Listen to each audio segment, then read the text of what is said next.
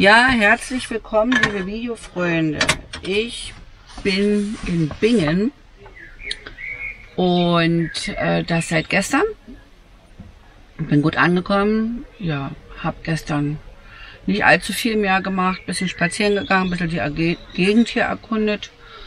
Und ähm, ja, unsere Pläne haben sich dann mittlerweile jetzt auch geändert. Eigentlich wollte ich drei Tage hier bleiben. Das hat sich geändert, weil Michael heute angerufen hat und der hat ein Problem. Der sitzt in der Türkei und kommt nicht weg. Der Flieger ist kaputt. Jetzt müssen sie erst ein Ersatzteil einfliegen. Eigentlich wollten wir ja übermorgen, ist Vatertag. Wenn ihr das seht, ist das schon lange vorbei. Ähm, wollten wir in seine Heimat fahren, in sein Heimatdorf. Und ähm, da wollte er gerne mit seinen Kumpels feiern. Das wird nix. Und deswegen habe ich mich entschieden, auch hier etwas frühzeitig abzureisen von Bingen und fahre morgen äh, nach Enke, wo ich schon mal war, an die Mosel, weil ich den Stellplatz sehr schön fand. Hier in Bingen, der Platz ist eigentlich so sehr schön. Man hat also direkt am Platz Wasser, man hat am Platz Strom. Also das ist schon toll.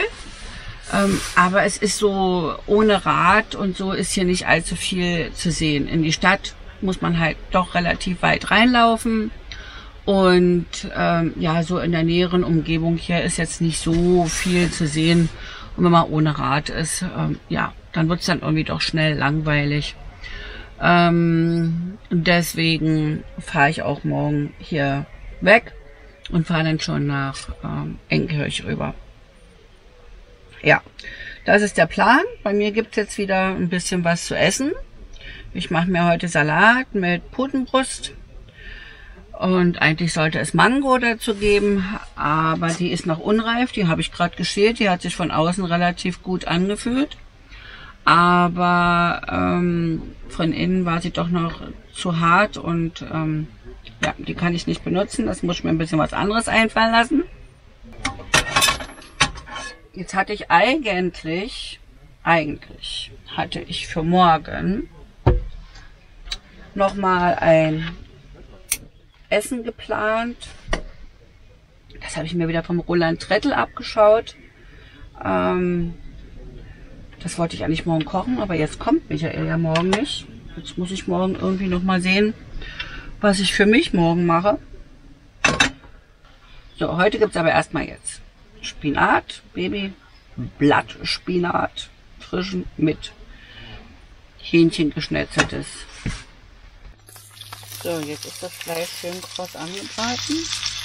Und jetzt mache ich noch über das Fleisch ein bisschen Sesamkörner rüber und lasse ihn noch mit anrösten.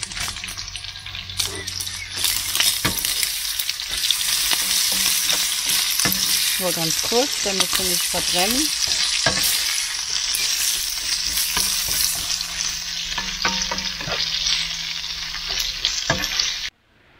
So, jetzt habe ich hier das Fleisch mit den angerösteten Sesam. Körnern drüber und jetzt habe ich mir überlegt, ich mache noch ein bisschen Rosinen drüber, nicht zu viel. So. Und noch ein paar Kürbiskerne, die habe ich auch schon drin. Machen wir mal so ein paar drüber. So, sind schon welche da unten drunter auch. Und zu guter Letzt natürlich noch ein bisschen Parmesan. So. Dann machen wir noch mal ein bisschen Vinaigrette drüber. So. Und schaut doch ganz gut aus. Ich sitze hier vor meinem Frühstück. Das muss heute ein bisschen zügig gehen, weil ich fahre nämlich gleich weiter. Ja, und heute früh bzw. gestern Abend war ich etwas knatschig auf meinen Mann. Aus dem einfachen Grund, die Gasflasche ist alle. Gestern Abend habe ich gemerkt, oder beziehungsweise es hat gepiept. Und zwar war der Kühlschrank in Bad Neuem auf Gas gestellt und ähm, ja, dann bin ich ja von Bad Neuem hergefahren, habe das Gas nur zugemacht und habe es hier wieder angemacht. Dann hat er sich automatisch wieder auf Gas gestellt. Also lief jetzt noch mal anderthalb Tage über Gas. Das hat es dann den Rest gegeben. Aber ich habe das schon lange gemerkt, dass die Flasche nicht mehr so hundertprozentig voll ist. Das hat man an der Gasflamme einfach gemerkt. Und Michael sagte auch, damit kannst du noch locker ein Vierteljahr fahren. Mhm. Gestern Abend piepte dann der Kühlschrank und ähm, ja, Gas alle. Und ich habe noch nie in meinem Leben eine Gasflasche gewechselt. Ich weiß eigentlich gar nicht, wie das geht. Ich habe aber gestern zwei Herren hier gefragt, die haben mir das äh, schon mal abgeschraubt, das eine Teil mir gezeigt. Ich weiß ja, dass das immer verkehrt rum gedreht wird. Ähm, und dann habe ich heute früh, hier ist in der Nähe ein äh, Sanitärgeschäft, da habe ich angerufen und habe gefragt, ob die Gasflaschen haben, weil das hatte mir der eine Herr gestern Abend gesagt. Und die haben welche. Und da fahre ich nachher hin und dann habe ich auch gleich gefragt, ähm, ob man, ob sie mir helfen könnten äh, bei der Gasflasche. Und da haben die gesagt, nein, das dürfen sie nicht. Und ich so, oh nee, bitte nicht, ne? Und dann habe ich gesagt, kann wenigstens einer mitkommen, weil es wäre schön, wenn mir auch einer hilft. Ich weiß gar nicht, ob ich die Flasche alleine hochheben kann. Das ist ja so schwer. Ja, das kriegen wir hin, aber beim Anschrauben, das dürfen sie nicht aus versicherungstechnischen Gründen. Und dann sage ich, na, vielleicht kann einer daneben kurz stehen bleiben, wenn ich sie andrehe und anschließe und sagen, ob alles richtig ist. Naja, dann muss man gucken, hat er gesagt. So, also fahre ich jetzt erstmal dahin, werde die Gasflasche wechseln. Ja, und dann geht's weiter für mich an die Mosel nach Enkirch.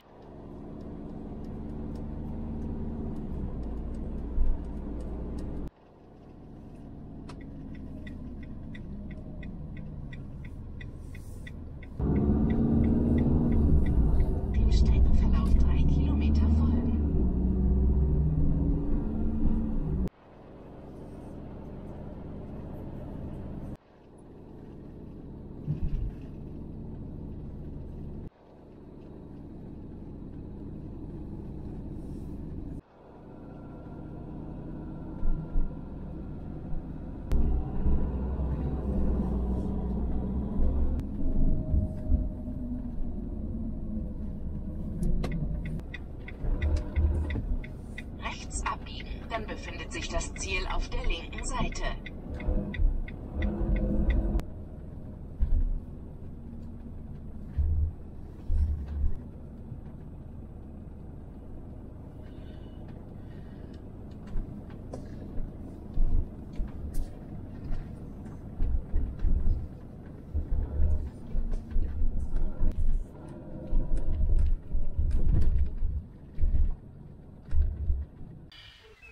Ja, hallo liebe Videofreunde.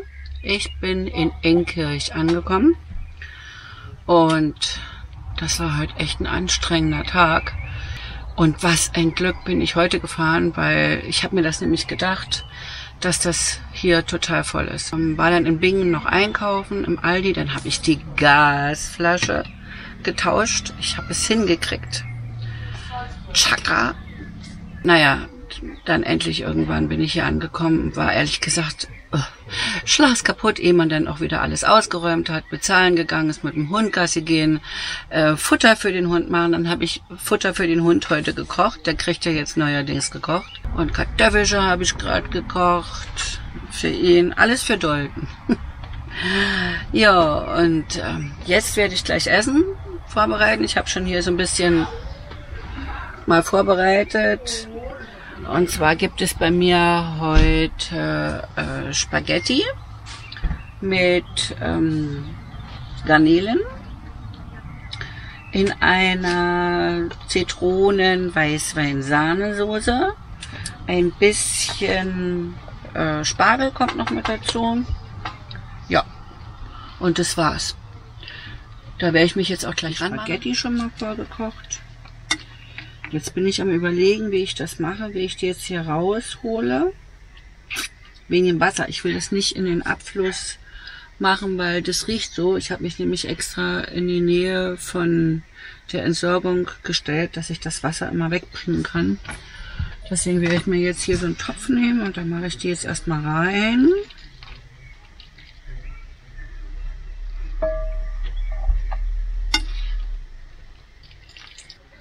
Die stelle ich jetzt erstmal beiseite.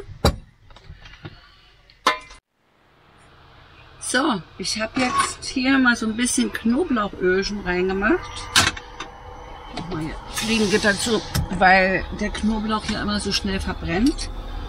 Und das mische ich jetzt mit ein bisschen Sonnenblumenöl. Heiß begehrt. Die Flasche hebe ich mir natürlich auf, da fülle ich dann wieder ab, weil die kleinen Flaschen sind super. Und unser Selbstzündanlage geht ja immer noch nicht.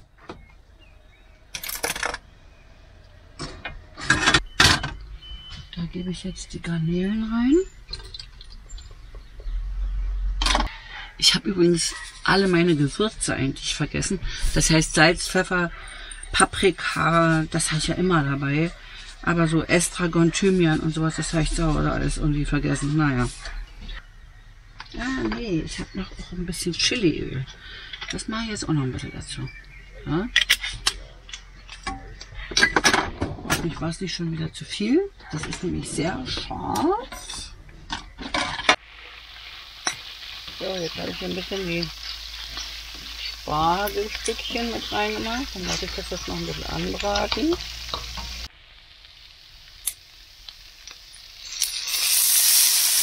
So, jetzt brauche ich mal ein bisschen Zitrone.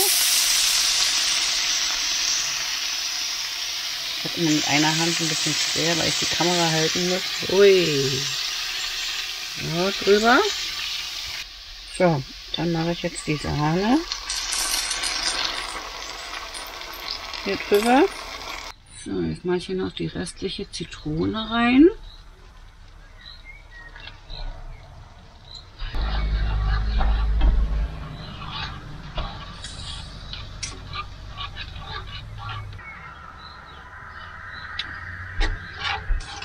Mhm, gut. Ja, gut. Jetzt mache ich noch ein bisschen Weißwein dazu. Den habe ich noch, weil der ist mir eigentlich zum Trinken zu sauer, aber zum Kochen genau richtig.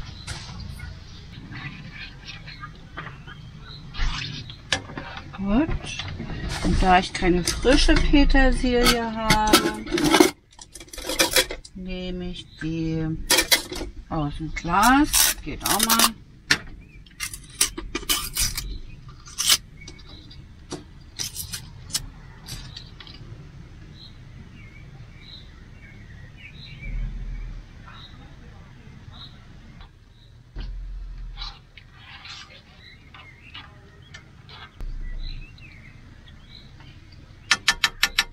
Mmh, lecker.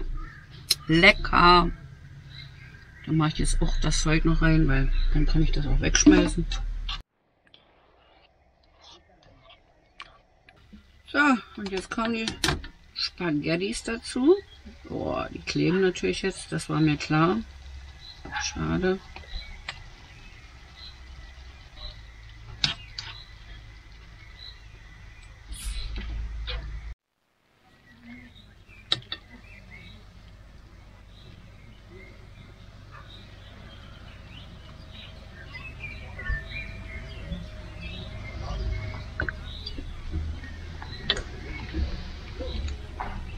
Mhm.